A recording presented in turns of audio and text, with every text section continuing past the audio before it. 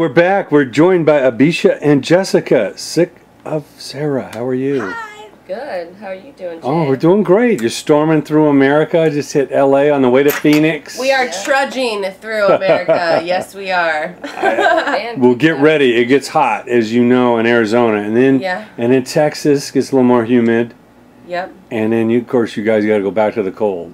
So Right. So we're kind of soaking up the sun right now. I'm not looking forward to going back to the cold. I'm okay with the It's hot nice. weather. I kind of an appreciate it. extended summer right now. Yeah, yeah, I appreciate that. It is. It is like an extended summer. It's really nice and hot here, and it's mm-hmm. what October twenty first. Almost November. Can you know. believe it? I know. So now tell us where you guys are based and individually how you got involved in music. Like what age did you start creating rather than just being a fan and who were some of those musical artists?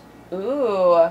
Well, I started music fifth grade, snare drum, loved it. First, I started off on the flute. Studied in school? Yeah, like school, School bands. band. And I, I, I first I picked up the flute, and it was two weeks later, and I was like, Mom, I just came home from school. I was like, Mom, I think I'm a drummer, and she's like, she was totally cool with it. So she let me just, you know, make a bunch of noise at our house, and I grew up in marching band with the. Um, the big hats and the pointy black shoes, and I loved it. I loved marching band, and then I took a hiatus for a minute, went through some obstacles, you know, from about 18 to 20, and um, I moved to Des Moines when I was 20, and I joined my first band, and I learned how to play a full kit. And then I played a show with uh, with Sick of Sarah at Vaudeville Mews in Des Moines with my old band, and that's how we met. And they stole me from Des Moines. And I grew up listening to a lot of '90s alternative rock. Like I love Bush, um, Poe, you know, a lot of the grunge, Nirvana, um, and I also like some hip hop as well. I'm not gonna lie. So Yeah, well, good music comes in all shapes, genres, absolutely, sizes. absolutely, If it moves you, it doesn't matter what they call it. exactly. How about you? Uh, I actually just started playing music yesterday. Okay. Oh, yeah. Well, congratulations She's on your second great day. job. Thank too. you. Yeah. Um, no, I'm Progressing well. Yeah, I'm a prodigy child. That's um, um, I started playing music when I was 13. My brother bought me a guitar, and um, I started writing right away.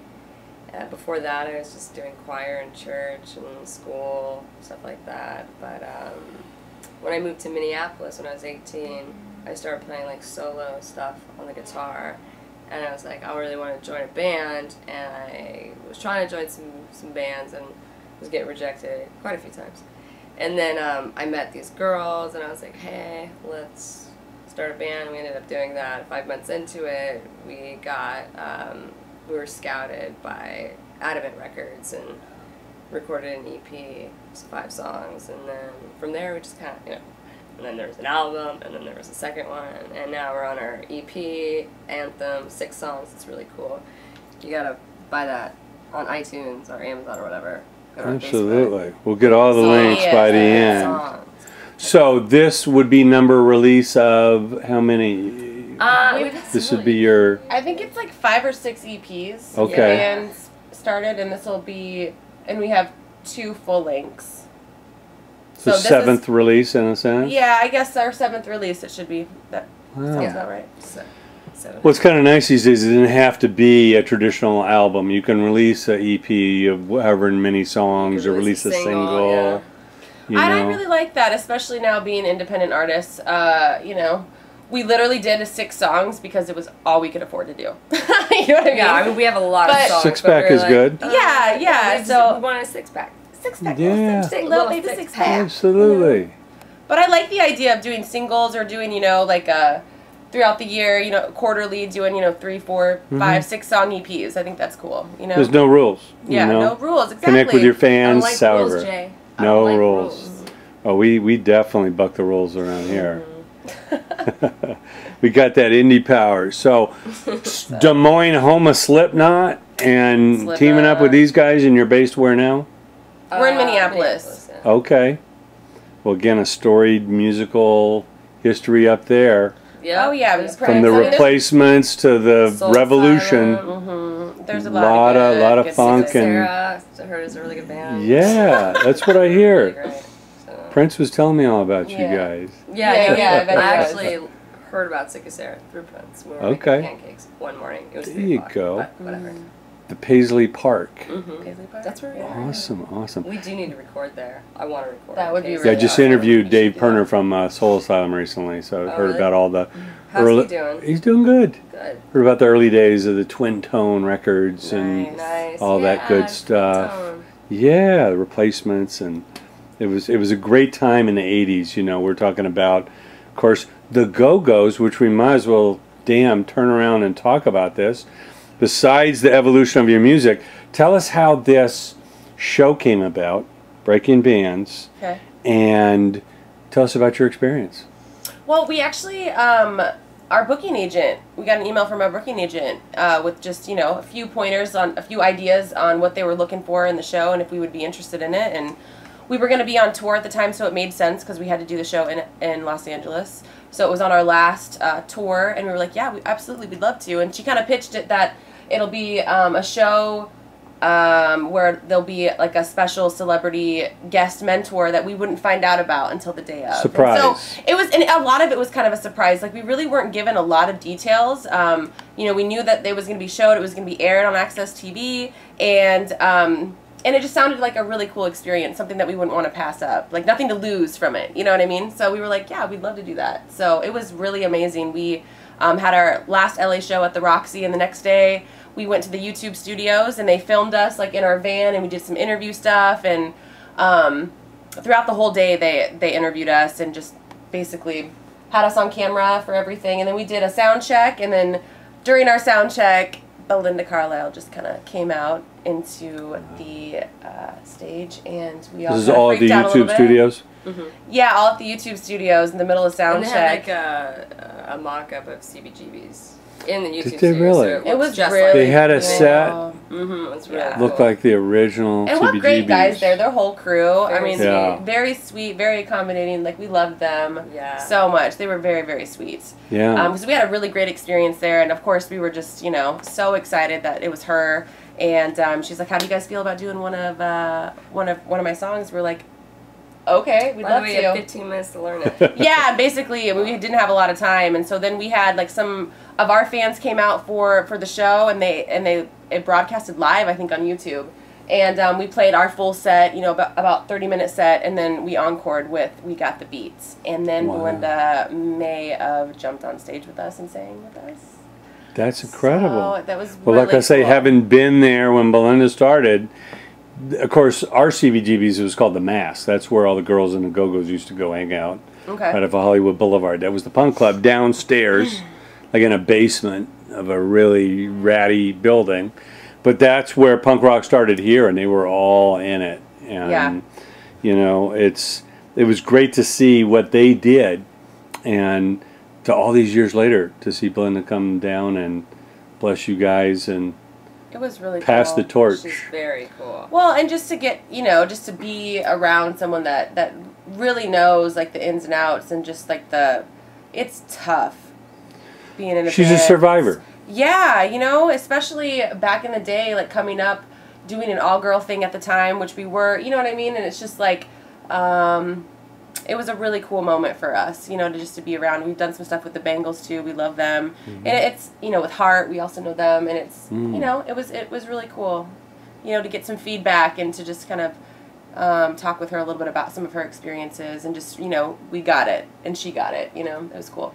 Well, you not only learn from what went right, but you can learn from what went wrong. So hopefully you Oh, can absolutely. avoid some of the, the pitfalls. Yeah. You know, absolutely. tell, tell us the advice she gave you as far as the party. You know, out of everything, she she said she really dug what we were doing. She's like, I love the sound, I love the harmonies. I mean, you guys are great. Bisha's great. You guys are all sound great. Her only, um, you know, piece of advice was, you know, lay off the partying. You know, stay away from that. I mean, it sounds like. I mean, I think they had a lot of issues. You know, a lot of bands do. I mean, sex, drugs, and rock and roll. You know. Yeah. But it's um, it can really. Well, especially back then, they, Yeah. you know, they you really didn't know too much because the rock stars in the '70s seemed like they were some fantasy world. They couldn't Right. relate to all that.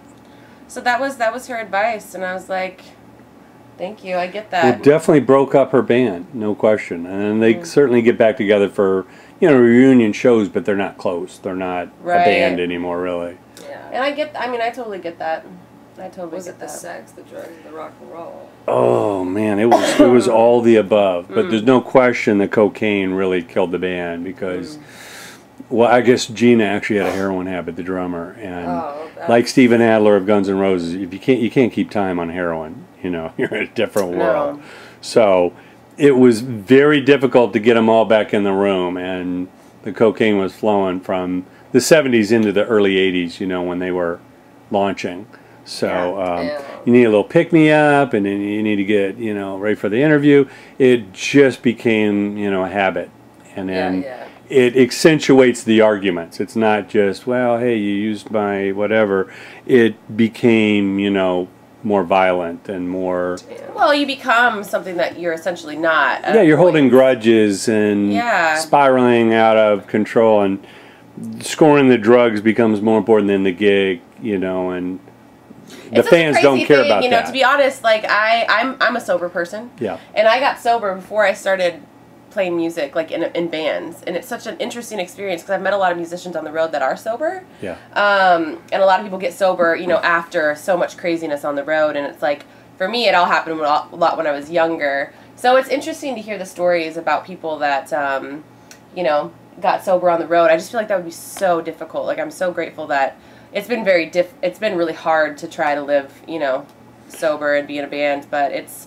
I can't imagine, you know, going through that period like I did when I was younger, being in a band. I mean, it's Well, you're in a lot so of bars. hard. There's a lot of alcohol, a lot of festival, a lot of a lot of that around because Mm-hmm. people coming to see you, they don't have to travel the next show. Yeah. They don't have to, you know, be coherent for the morning interview and all that. You know, Yeah. So to them it's a celebration. They're out partying, and a lot of that can spill onto the stage. When you go on tour. Yeah, yeah, yeah. Whatever. And I think in the beginning, when you're younger, maybe that could be the case. But I just feel like this day and age, and especially where we're at, it's just so important that we have, uh, we have our shit together. You know what I mean? When we're here for the interviews, when people are taking time to do this for us, like we need to be present and be okay. It's just so important to like have that understanding of the business side of things now, as much as being able to perform. You know? Well, you're like athletes in a sense, and Yeah. you got to get up, you got to pace yourself, and you got to cross the finish line, and then you mm-hmm. got to get up tomorrow and do it again. So, mm, and it's hard. It's so yeah, hard. you got to pace life. yourself. And so I It's can't physically imagine trying demanding. to do this and being hungover every day. I No. cannot imagine doing that. I don't know how people We're do that. to say, you know? just threw up everywhere. yeah. Well, But a lot of people do do it. You know, well, that's the vicious them, cycle. but- Again, you take this drug to get up, and then you got to take that drug to go to sleep, mm-hmm. and then this That's drug to get up. it. Like, Yeah. Pick up. Yeah, that that simple little mm-hmm. snorter puff and Yeah. pill turns into like I need it. I need it every day, you know. Mm-hmm. And you know we've seen the toll it's taken, but these days all all the bands we talk to that are out there touring and working hard. In a sense, it is. It's like you're campaigning for public office. You're you're an athlete in training for the championship. You've got to maintain the pace and be clear headed. You know, a lot of people were under the misconception. Well, you know, Jimi Hendrix and the Doors were they wrote they wrote their songs when they were all smacked out, so we got to do that too. Mm. And then they realized that wait, those guys died like in Yeah. their twenties, You know what I mean? know. Like literally di- They died. died. They died, and they twenty seven have. seven years old. Yeah. I uh, there's. I mean, I have. I've worked with musicians that feel like they write better when they're under the influence, and maybe some people do. I don't know. I guess I've. I, can I write better It. under the influence of love. Yeah. Oh yeah. Mm. Love's the most powerful drug. Who knows what the right answer is? But I feel like, um, I, I just feel like it's important. I mean, you have so much to lose if you really want this. You have so much to lose by just getting. A nice, Well, it definitely lessens your odds of, of making it if you can't maintain unless you are that show good, after show. you know.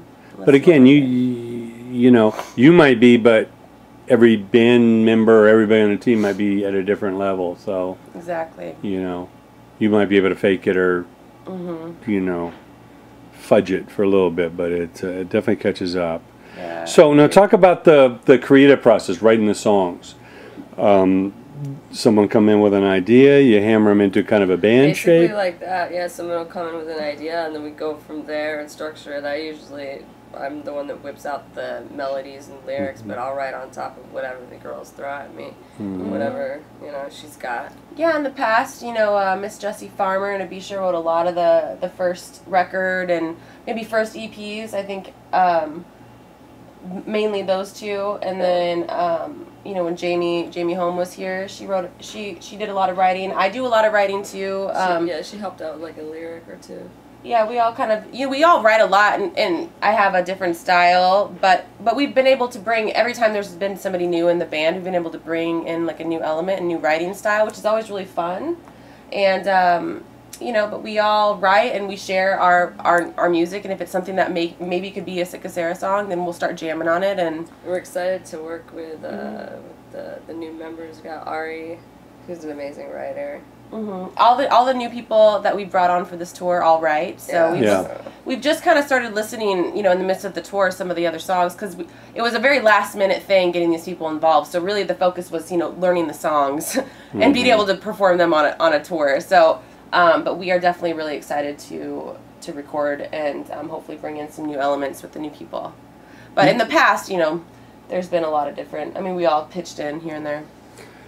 Well, really, you know, the the song is the main thing, so it doesn't really matter who, in a sense, writes it or contributes to it, as long as it's a great song. you know, so outside writers, you know, co-writes, anything This- like that is possible. You yeah, know, I mean, this last record, this last EP, Anthem, was the first time we ever brought on any songwriters. Okay. And uh, we met a few songwriters in Nashville, and it was a really cool experience for, I think, probably for all of us. Yeah. We've never done anything like that before, and it was really, I learned so much, you know, just kind of just sitting back and just. people that have written hundreds shut, of songs, yeah, just, they just do it shut up all and like day. listen, just like watch them, observe what's going on, and it's like, And they had ideas of like, I, because I usually do majority of like the, the writing and melodies and stuff. Like they had ideas that I wouldn't have thought of. So I'm like, that's really cool. You know, you know, I love that. structuring, you know, different words to maybe avoid or, or you know what I mean. It was just, it was very interesting. Like in utero is not a word that you want to put in a song. She tried to put it in the last song. She she wanted the whole album to be called in utero and have the main song. you know, what do you do? Song repeated Yeah. in there at least Mm-hmm. fifty times. You got to try a lot of ideas to find out what works. So that one's not gonna work out. Yeah, I'm sorry. Okay. Just, I'm So okay. So when you're out there on the road, eh, any special things you do to kind of pace yourself or, you know, maintain the energy, you know, for the we show? we changed we sw- we switched up our rider this this tour. We got vitamin C packets, vegetables, fruits. Um, the hotels that we've been staying at, they do have gyms. I will be Mm-hmm. honest, I haven't been doing much of it, but I know Jack and Ari have, which I'm very proud of you guys. Thank you. Um, I do drink a lot of water and you know i do my meditation books. Like i have to like it's a lot of work. It's a lot of stress especially this tour. There's so much going on. There's so much change that it's it's so important to stay healthy. Like you're not going to be of use to the band or anybody else if you if you're not healthy you know so mentally mentally physically emotionally spiritually it's just important that we at least try to do that. And trying to do that in a 12 passenger van when you're cooped up with a bunch of people you know driving overnight to get to the next show you're not really sleeping comfortably. I mean it it's rough. And so to try to incorporate time for that sometimes you Mhm. forget to. And then it's like oh why do i feel like shit? Well i'm not taking care of myself. So um, trying to just like encourage everyone to you know to do that. Sure. Now, is there any uh, pre-show ritual or anything you guys do to kind of get on the same page, or before you hit the stage, anything you personally like- do, or together? I do jumping jacks sometimes because I'm so tired. I definitely will just blood go out. flowing. I just get the blood flowing. I do. I warm up. I have a warm up pad. I do warm ups. Um, and then you know the last few shows we've had people come back um, maybe 15 minutes prior to the show and we'll just do a little powwow. How's everybody feeling? You know, give a little back rubs, give a little pep talks, and like we're excited. So sometimes that helps just to get everybody together so we can be like, how's everybody feeling? Go over any you know notes or whatever. That's what we have so far. You know, it's pretty much a new lineup. So Yeah. And, and talk about the new EP anthem. Is there any songs in particular there's an interesting story about, or anything you're most proud of achieving growth-wise with it? what do you think? Go ahead. What do you think? I am very proud of this record. Um, we went on a pretty long hiatus for a long time. We did the Vans Warped Tour, I think, in like 2012. And um, there was a lot that happened on that tour. And towards the end, you know, we just really weren't getting along. So we all kind of needed to take a quick break. And um, over those two years, you know, we would get together and have little one off shows. And we wrote a lot of songs. We had, you know, at least probably 40 songs that we had to choose from. And um, at that time, we also broke away from our label, and we were just going through a lot of different changes. We we tried out a new manager from Nashville um, that didn't end up working out, and you know, going through our contracts and just getting lawyers involved and trying to part ways and try to kind of have a fresh start is um, is what we collectively agreed that we wanted to do at that time, and so we had to raise all the money to get the record and to get the record printed and then to find a new booking agent that would you know get us a tour. And so um, i felt like we had a lot more ownership in making that happen. And i mean we all worked together to you know raise money and um, so i'm proud of what we did because we did it ourselves you know? And i think that that um, says a lot. And as far as like picking those songs, um, that was really difficult for for a lot of us because you know we all had our our own songs, but we really picked the songs that we thought that our fans would really love and that really would you know stay true to them and what they love about Sick of Sarah, and then also some that meant something to us. I would say. Um, um, I mean, as far as the songs themselves go, I mean, Stereo has a lot of you want to talk about any of the songs that, like Sure. lyrics and stuff? Uh, yeah, stereo is about, you know, it's kind of like during the difficult situation with all that stuff and having to deal with all the pressure. Those are like the lyrics. Um, I mean, I could say them, but if you listen to stereo, you can, you'll understand. Mhm. back up, back up and breathe. It takes a little more purpose and clarity. I'm just a little bored. Call it my therapy. I need a little more stereo. You know, Mm. kind of like we want to wa- keep going. Yeah, like wash blocking people out. You know, like Right. There were so many people telling us to do so many This, different that, things. other Like, who do we believe? Like, it was it was really, it was so hard to like.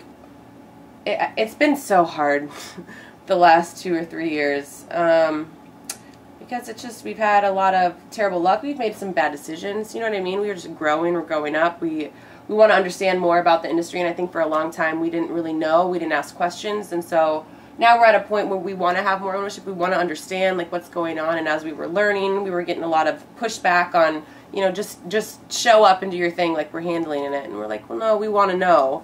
And so it was um, a weird transition for us, and um, yeah. I don't know. Yeah, if that makes sense. Well, it's important to know as much as you can about everything you're doing without letting it dilute what you do best, which is songwriting and the playing and the, you know the performing. Well, but to be naive thing. is where the industry used to keep the artists. They wanted them dumb and just playing the music, and we saw a lot of pitfalls with that. So Mm-hmm. a lot more of the artists are more independent, more in control of their own destiny. So you want that. So you know, learn what publishing and recoupment and, and we have I all mean, this stuff is, we've, and we've we've released the record on our own, and we, you know, we just I mean, Google has been my best friend. You know, look it up, figure it out. I don't know how to do this, so I'm just gonna figure it out. You know what yeah. I mean? What did we do before the internet and cell phones? don't encyclopedias. Who the hell Libraries. is this Google dude you're talking Who is this about? Google? I know. I know. We, we tell these young people today they used to break records and bands without the internet, without cell phones, without YouTube, and and they're like, without computers. How how I- would you even yeah. start? It's amazing. Yeah. And then getting around, being on tour without like the GPS and shit. You know what Yeah. I mean? Like a having lot a of quarters in the roadmap. payphones. Yeah, that's just. I mean, all of those bands, my hat is off to them. It just had to have been. I don't know. In a way, maybe easier, and in a way, di- more difficult. You know, Yeah. because now anybody can do it, so everybody's trying to do it. So now it's Well, oversaturated. th- you know what yeah, I mean? there is So this- it's like I don't know. There's a lot of clutter out there. Yeah, for sure. So now, obviously, the Warped Tour is very grueling, and it kind of stretched you guys to the nth degree with you know the camaraderie. You know, but what did you gain from that as far as building the character? Like, wow, we really we got through this. Maybe we had to regroup or whatever, but it's a trial by fire. Some of the biggest bands in the world have gone through the Warped Tour. Well, I mean, as far as what the band gained, I mean, that's just such great exposure for any band that can get on the Vans Warped Tour. I mean, it's it's amazing. There's so many bands, so many genres now. It's not just like the pop punk rock. Yeah. You know, we gained a ton of fans, and Yeah. And that was really great. And we made a lot of great connections with other bands, and made and like you know got to see a lot of other great bands that were up and coming, and that was really cool. Who who, who was on the tour with you that year? Um, well, we did a couple of years. So one year, Paramore um, was on there. We were on there with uh, What's that one band? what? I can't think of it. It's not like LOL, but there's this. 3OH!3. 3OH!3. There Yeah, 3OH!3 was on there. LOL. Um, I mean, that, those were like the main stage people. There was a bunch of bands, man. Um, on our stage, like who were some of our favorites? Uh, Mighty Uh, Mongo was awesome. They're from Florida. Yeah. They Yeah. were really I fun. liked Cherri Bomb a lot. Oh, Cherri Bomb, who are they're now Hey Violet. That's right. Yeah, they're awesome. We were on our last Warped Tour. They we were on the same stage on the Kevin Says stage, and those girls rock. We love them so Yeah. much, Yeah. and they're killing it. Um, Yeah. so they were on there. Courage, My Love. Courage, my love has been on there. There's a Um, few. I don't know. It's, I'm I'm drawing a blank. There was a lot of great bands. A lot of camaraderie, a lot of Oh yeah. learning, you know, A how to do of it, how to pace yourself. Because again, it's unlike cool clubs and backstage, it's all out there in the parking And lot. And for me, the yeah, that was really hard because you know I don't do any of that anymore, and so it it was the most difficult tour for me.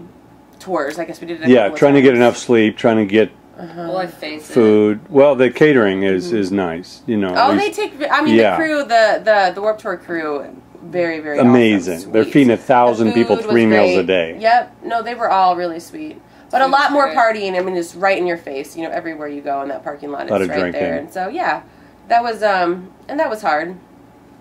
But I mean, as far as like the you know us as a band after the tour, I mean, I think. Mean, we still went strong for at least a couple, two, three years after that, and so we did come together and. And we've done that several times. I mean, Sick of Sarah's been together since 2005, and I've been involved since, you know, what, two, 2009 or something. Okay. And um, so the band, I mean, for the main part, like the founding members had all like been together a long time, and we, you know, even before I got there, they had been through a lot, and since I've been around, we've been through a lot, and I think that I'm really proud of what we did together. You know, Mhm. regardless of how we ended things. Some of us ended on good terms, some of us did not. But after the Warped Tour, I think after we took a little bit of time, you know, we always came, we would always come together and just figure it out and just be like, you know, we didn't really hold grudges too much, I don't think, after a, a period of time. Right. But then as things continued to happen after that tour, I mean, it just, it became obvious that it was time for people just to, you know, change is inevitable. And so we just, you know, we're embracing it. Yeah. They're not too happy with the guys being in the band. Yeah. The old members. Right. Which is um, tough shit. Yeah.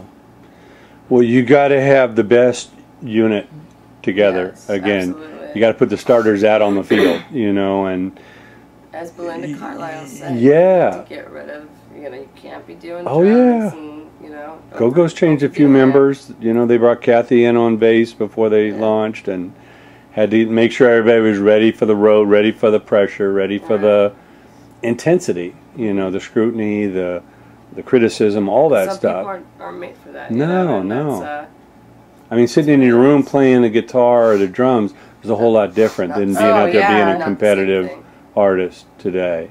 Now, what what advice do you have to the younger bands, younger people that you meet that, that want to do this? I know you can't really school them so much on the business because that's constantly changing, but as far as the mindset or the dedication it takes, If what, what do you school them do on? it, If you want to do it, you know, just like just like with what Belinda said, like you gotta take it seriously. I mean, you can have some fun, obviously, you can have fun, but you can't overdo it with the partying, you know. And if you're gonna drink, you know, be wise about it. If you're that stupid ass after the show that's drunk and falling all over the place, that's not cool. And if you fuck up a show because you're drunk and you forget all your lyrics or you mess up your guitar parts, you know, that's not good. What That could be somebody- all over YouTube today. yeah, it could be all over YouTube. What if there's somebody there that was a potential, you know, scout? Yeah, and that's the other thing. You just never know who's going to be there. You never know who you're going to run into. You know, just loving everybody up. You know, make be friendly with everyone. Clean up your green room when you're done. You know what I mean? Just Yeah, Yeah. Be, be I think stay in respectful to the contact, network. Um, Be respectful to the staff. Tip your bartenders. You know what I mean? Just being nice, courteous to people. Don't You, you want people to too- remember you in a good way. They want to anticipate you back rather than oh Don't have no. an ego because there's so much. Mo- I mean, it really is so much more than than you being an amazing musician or even an amazing songwriter. I mean, I think it there's there's a lot more that goes into it to really Yeah. make an impact. You know. You got to be an And to stick out. ambassador. You got to be a diplomat. You got to be uh, all these things in a sense. And make You sure know? and try really try to get you know the the right team, the right team because you're only as strong as your weakest link. You know, Yeah. I feel like um, it's it's important to have some like minded people around. You know, so and it's hard. It's really hard. Very demanding, physically, Yeah. mentally, spiritually, all that. It, it really is, and especially when you do it for such a long time. And I mean, trying to make money and trying to make a living. I mean, it just doesn't come easy. I mean, we're still trudging. You know. hmm and um, I mean, and also at the, at the same time, as long as you're doing what you love, and if it depends on where you want to go, have some goals. Like, what do you want out of your music career? Do you just want people to hear it? Do you want to get it in a movie? Do you want to like play in large arenas and open for a really great band? I mean, having some goals and uh, going out to shows, networking. But with also other being bands. realistic about the goals. Yeah. Not being disappointed because you're not doing an arena in the first Yeah. year. Right. Yeah. Yeah. I mean, it takes a long time. Realistic goals are probably some good. Yeah, you got to temper that. You you got to be ambitious but realistic and savor each step along the way. Enjoy the journey. You know, Mm-hmm. so And that's one of the things the last couple of years I've had a really hard time doing, to be honest, is like really just, you know, staying staying in today, you know, and just like enjoying it while I have because sometimes I can forget there's a lot of people that would love to do the stuff that I'm doing and right now with all the change it's been so difficult. It's been hard to just stay to be there and to stay positive and um but I know that it's really important. So it's a good reminder for me too, you know. well now as you wrap up this tour and go back home, what energy, what ideas do you have to go into the next batch of songs, the next recording? What do you what's on the horizon for the band? New songs, new material. Yeah. Once we get that in the pocket, you know, we're, we'll look to do sort of like a spring tour, maybe a summer tour. We Okay. really want to get some new songs out there. We really want to work on building our team. Um, you know, we just brought on some, some new people that you know we feel really confident in, and so we got to we got to build our team back up. Essentially, this is a very transitional point for. I mean, we have Sarah. so much. I mean, it's just there's so much change that I really want to recovery. sit down and like just you know really explore like what our options are and really explore like what are the things that have worked for us the past 10 years? What are the things that have not worked for us the past 10 years? Try to get some you know feedback from some other people and ultimately it's up to us what we want to do and you know i just i'm i don't know. I mean i know that like we have a lot to write about so i think we should do that. Yeah. you know we want to write and uh, we'll have to figure out how we're going to record it and how we're going to afford to record it and then what we're going to do with it but i think we want to plan it and make sure that it, you know everything is is right you know Well, it all starts with great as it can songs. So it take really all does that it really does passion so, and anxiety and angst and everything, yeah right put them about into it songs. yeah so i'm Yeah. excited about that for sure Great stuff. Well, thanks so much for coming out. thank you Thank you, jay Jay. you're amazing Where do we find you on the web? Ooh, sickofsarah.com. We're also on Facebook, Twitter, Instagram, Tumblr, all at Sick of Sarah. That's Sick of Sarah, Sarah with an H. Um, you can find us on iTunes, any a lot of the other outlets, um, Amazon, Google Play. If you just Pandora. Google sick of Sarah, you'll find us. Yeah, we have a bunch H, of by the way. videos. We're gonna do, I think, one big tour video. We usually do tour videos throughout the tour, but we've had so much other stuff going on. I haven't had enough time to do it. So I think I'm gonna we're gonna do like a kind of like a. Uh, Well, Torn Labels Project movie. movie. after the tour, so Yeah, that'll be on YouTube. We have a bunch of our videos. We just released a video for Rooftops. Actually, Mark Morgan was our producer here from Mark LA. Morgan, I love you. Wow. We love him, and so that was released just a few months ago, and that's on YouTube. So we have a bunch of stuff on YouTube. Um, a bunch of stuff on YouTube, and then there's some other videos that aren't on. Never mind, what? nothing. I don't know. Um, I don't just know what's that one- happening. That one video that was leaked. Oh, the The inappropriate one the from you. inappropriate one. Yeah. her Anyways, cat. Okay. no, so we have um, rooftops videos online. You can check it out on YouTube. Um, it's amazing, and um, that's just what I think, my opinion. So, uh, you think it's pretty good? Well, we'll spread go. the word. Can't wait to Are- see you on the road. seen it, Come on back. I have. You did. Oh, You did your I research. love it. I like did my a man that research. does his research. Mhm. We support the bands. We can't wait to see you guys come Yeah, back it's through. gonna be Keep on awesome. rocking. Thanks, Thank and make you. sure you check out that we're gonna that um that show's gonna be aired on January first. Breaking Bands on AXS. Can't wait to see it. Yeah. Our so old be girl us with Belinda, still kicking. Belinda. Yeah, it'll be fun. There's a lot of great bands on there with a lot of really cool celebrity like mentors. We love it's gonna be AXS awesome. TV. It's awesome Yeah, channel. yeah, My favorite. It's very cool. Cool. Yeah. Sweet. I'm glad. Then you So January definitely check it out. first. All right, and guys. just so the viewers out there know, Jay is currently not wearing any pants. Well, next question. All right, guys. Thanks so much. See you next you. time. Thank you so much. Thank you, Mwah. Jay. Pantless Jay.